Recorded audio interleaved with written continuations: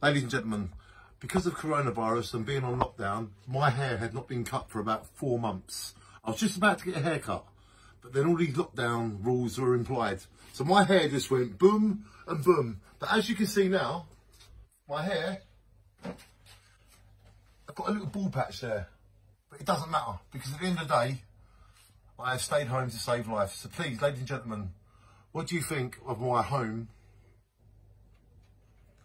haircut?